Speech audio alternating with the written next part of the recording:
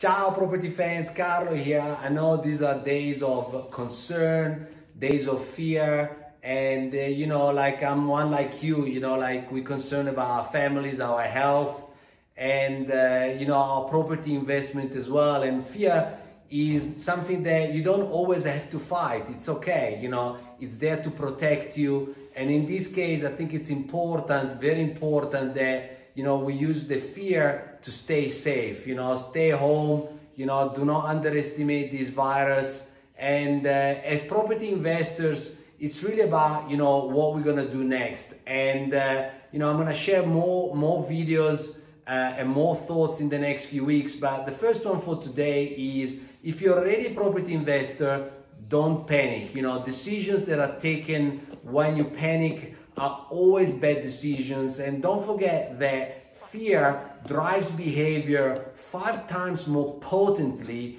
than greed. So, you know, don't fall into the fear that takes you into panic and makes you do like an expensive mistake. So that's number one. Number two, if, if you're not a, a property investor yet, you know, there will be plenty of time for you to reap the benefits and, and reap the, the sort of the properties below market value. You know, I strongly suggest in the next three to four weeks, just do nothing. You know, just hang on tight, you know, let the dust settle, you know, let us go through this, uh, this uh, uh, important phase of the pandemic and then start investing in, in your knowledge, continue to deepen your investment in yourself, in your knowledge, the tools, so that you can be ready when the bounce comes because these too will pass and uh, we're gonna be looking forward to a new phase of the property market.